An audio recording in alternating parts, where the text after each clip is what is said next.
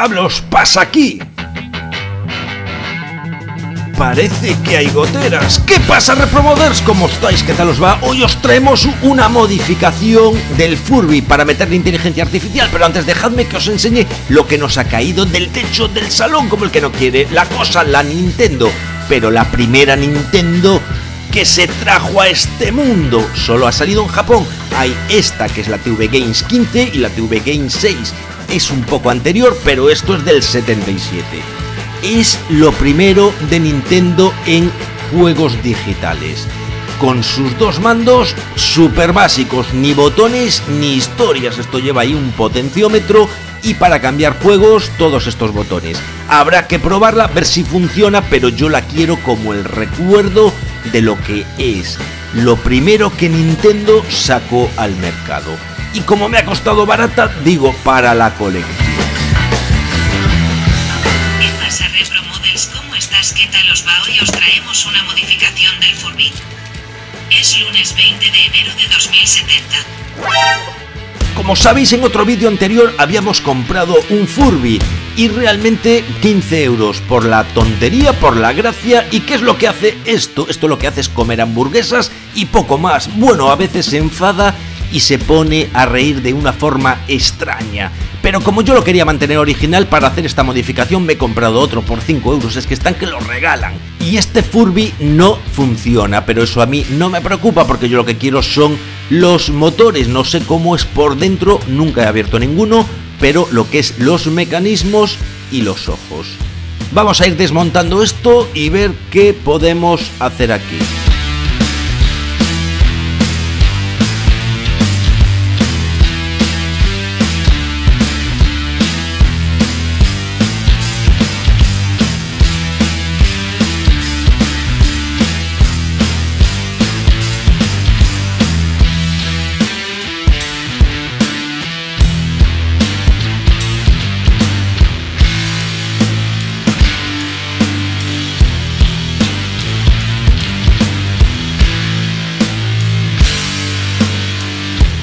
Bueno, pues con la piel fuera esto ya queda en la estructura en su esqueleto. Vamos a ver cómo funciona esto, porque primero habrá que ver cómo funciona para ver qué podemos toquetear.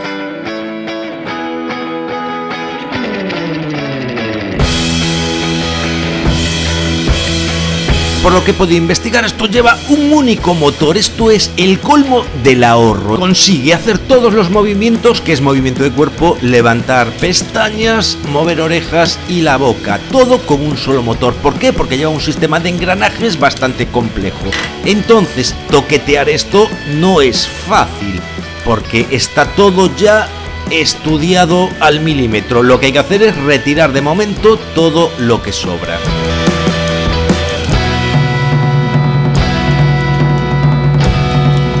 Por aquí le entra la alimentación y podemos tener manejo de ojos por un lado que se van a mover a su bola y por otro lado tener manejo del motor que es un motor como os digo no es paso a paso es un motor de corriente continua a 2 voltios. Si yo lo alimento este motor hace un ciclo continuo. Por lo tanto cómo vas a manejarlo con un Arduino y con un puente H. Es decir le voy a dar 500 milisegundos hacia adelante 400 milisegundos hacia atrás. Entonces el motor va a conseguir no hacer siempre el mismo ciclo. Y además tiene que ir más rápido porque esto mueve la boca que parece que se está babando. Esto no es hablar, amigo. Así no vamos a ir bien por la vida.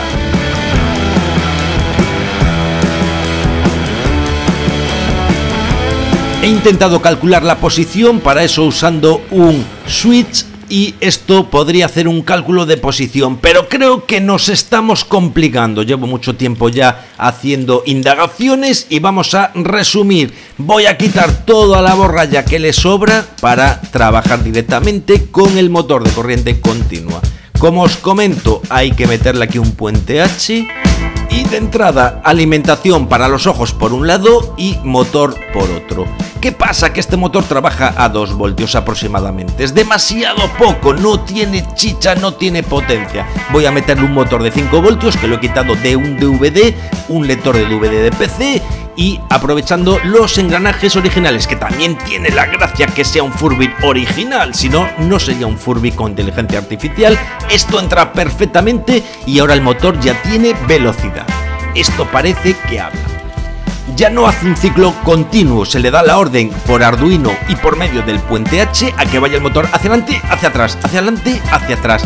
Ahora el tema es indicarle cuándo tiene que hacer esa operación. Y otro problema que es que se nos apagan los ojos. Resulta que esto tiene un auto apagado y si no tocas un botón o un sensor no se activa. Pero en este punto del vídeo ya he contado con la colaboración de Manu, un suscriptor que se ha querido meter en el ajo en este proyecto. Yo le he dicho, mira, tengo pensado hacer un Furby con inteligencia artificial. ¿Qué te parece? Y me ha dicho, dale pa'lante, vamos. Y aquí está. ¿Qué pasa, Repromodo? ¿Que quieres hacer algo con Arduino? Mira, perfecto. Lo tengo.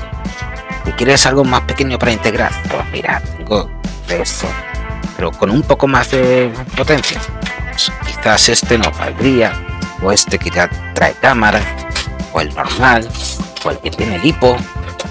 Y si no, ya pasamos a la Pi, a 0, a 3, 4 o le metemos esto. Aparte de los problemas que tenemos, como el apagado de ojos o intentar que la boca tenga cierta coherencia con lo que habla, ¿qué sistema, qué inteligencia artificial vamos a meter ahí dentro? Es complicado. Hay que estudiar la manera de que algo pequeño nos entre aquí. Para eso hemos estado viendo opciones. Por ejemplo, ChatGPT. Esta era mi idea prioritaria porque es una inteligencia artificial avanzada. No somos los primeros, ya que hay algún usuario que hizo una conexión de ChatGPT con un Furry, bueno, entrecomillado, y le hizo una pregunta y parece ser que se revolucionaron las redes. Tonterías que vemos a diario. Pero es posible conectar ChatGPT a una Raspberry Pi. Sí, es viable, es posible, pero para ello nos hace falta la API que tiene la propia empresa. Pero por otro lado, un usuario lo ha hecho con Amazon. Ha hecho un Furlexa, según él le llama, ha usado también una Raspberry Pi 0W, es decir, la que tiene Wi-Fi y dice cómo se puede hacer. Ha desmontado, tiene mucho mérito, lo que ha hecho aquí el compañero porque indica pasos a seguir, pero lo hace por la Raspberry. Así que yo me he comprado unas cuantas, pero me he ido a la pico, a la barata, la más pequeña y he dicho un saco de ellas, pero ¿para qué quieres todo esto? Porque es que yo siempre estoy haciendo proyectos y esto yo al final lo acabo usando. Entonces, ¿Es viable ChatGPT en una Raspberry Pi? Bueno, pues parecía que en principio sí, pero parece que la Pico se queda un poco corta, pero eso no es el problema, amigo. El problema es que hay que pagar por usar el API. Así que le he dicho, oye, que hay que soltar la tela, porque si no, esto no fuca y efectivamente dos semanas gratuitas y luego pasa por caja. Es decir, tú le hablas ahí a una inteligencia artificial y ella mientras te vacía los bolsillos. Esto no es una idea. Así que había una opción y una alternativa de una API que estaba liberada por un usuario gratuita, pero cuando le voy a dar para la descarga resulta que no va. Y esta API era para ESP32 también, es algo más potente que Raspberry Pi y se conectaría al API por medio de internet y generaría una respuesta que nos la daría de vuelta, pero habría que conectar un altavoz y lógicamente un micrófono y coordinar las órdenes que se le dan para que nos saque una lectura del texto escrito y así miles y millones de códigos. Y yo comprando material intentando hacer el proyecto, comprando pantallas y Manu por otro lado también. Es que se ha comprado dos pantallas y dice, yo le quiero meter ojos OLED. Digo, no te líes demasiado. Y el palante que iba. El problema que manejar dos pantallas es complicado, hemos estado viendo cómo y yo digo, espérate un momento, frena el carro, vamos primero a ver si podemos meter una inteligencia artificial en algo tan escueto como un Raspberry Pi, porque creo que nos estamos yendo demasiado alto. Así que después de más código, efectivamente, metiéndonos de ajo en el código, consiguiendo algunos resultados, venían más problemas. Hemos estado inspeccionando miles de códigos, miles de alternativas y conexiones que al final iban algo lentas hasta que encuentro el Google Nest Mini. ¿Qué diablos es esto? Esto es todo lo que quiero en una sola pieza y por 10 euros lo venden nuevo por 10 euros. Los he visto por 15 y por 20 baratos, es decir, no me complico más. Le quito el mecanismo interior y es que ya está todo configurado. Se lo he comentado aquí al compañero y ha dicho, pues es verdad. Que estamos perdiendo días y horas si con esto ya lo podemos hacer. Y además me dice, oye que yo tengo uno aquí viejo que es que no uso. Un saludo repromodo oficial. No va a hacer falta ni siquiera tener el Arduino. Porque si te fijas está a cero cuando decimos, ok Google, ya se activa. Yo creo que se han dañado los cables porque son esos dos de aquí. Y si le hago el corte aquí, Así que Manu ya tenía por un lado su Furby y su NES Mini, pero era de primera generación, yo había pedido uno de segunda, pero en principio había visto que se puede sacar un voltaje cuando se dice OK Google por una bobina que nos valdría para dar una orden a Furby. Y a mí ya me ha venido hoy, ya no he podido con las ansias, ya quiero terminar este proyecto, así que os hago el unboxing en 3 segundos y abrimos esto a ver qué contiene dentro.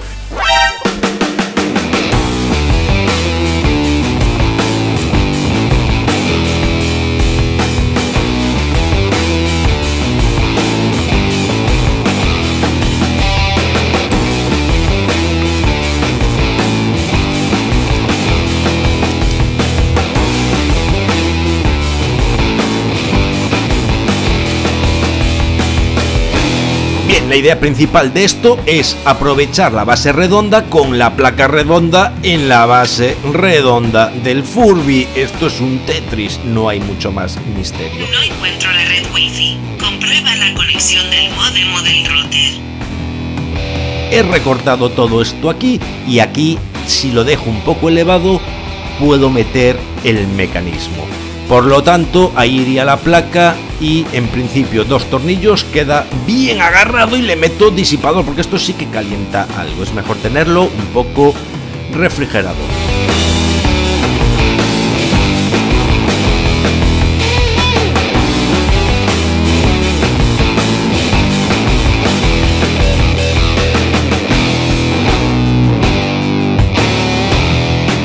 Ya conectado está el altavoz que le entra como anillo al dedo. Es del mismo tamaño que el altavoz original. Así que tengo ya la placa por debajo, tengo el conector por debajo y lo tengo bien agarrado el Furby a esta base. No hay problema, vamos a ver qué pasa con esto. El micrófono está desactivado. El micrófono vuelve a estar activado. Son las 3 y 39 de la tarde. He estado haciendo las pruebas de el 5 voltios que nos sacaba la placa del Google Mini para dar una señal Arduino y que esta a su vez hiciera un ciclo de movimiento básico del motor para hacer que abre la boca y habla, pero no es viable. Esto ya tú dices, ok Google, y el tipo mueve el pico, cálmate. Entonces, ¿qué hay que hacer? Meterle un micrófono, un sensor de micrófono Arduino y ajustarlo de tal manera que active solamente cuando esté el altavoz reproduciendo voz o audio. Nombre, asistente, apellido, Google. No tengo segundo nombre, pero me gustaría algo con D. Solo me falta meterle ahora una bajada de tensión. Esto entran 14 voltios. La generación 2 trabaja con un adaptador de 14 voltios. Necesito 6 para el V-IN de Arduino y alimentar el puente H, el motor y el micrófono. Bien, ya le he adaptado todo. A ver este. Van en un barco un inglés y un español y se cae el inglés al agua y dice, help, help. Y dice el español, help no tengo pero si quieres champú. y ya estaría funcionando. Para que no se me apaguen los ojos he metido un switch que al moverse ligeramente el cuerpo de Arduino esto ya resetea y por lo tanto vuelve a activar los ojos y no se ve que se apague.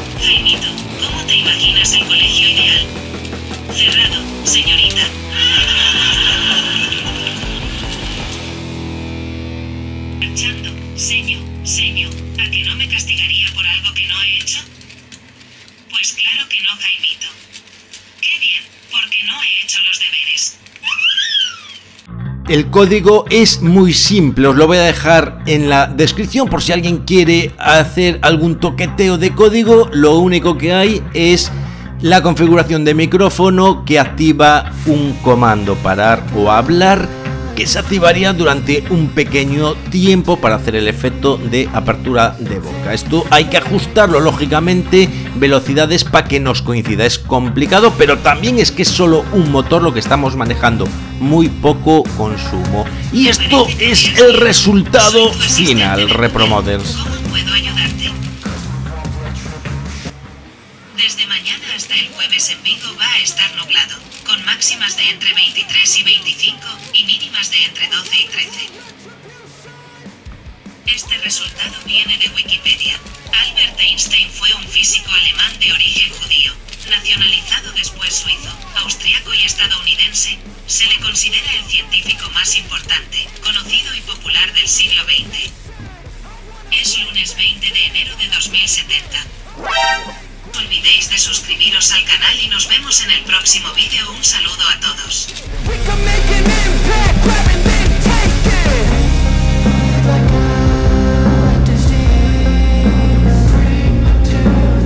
Y si este vídeo os ha parecido interesante, os ha resultado útil, ya sabéis, darle un like que nos ayuda bastante y no os olvidéis de suscribiros al canal. Nos vemos en el siguiente vídeo. Un saludo a todos.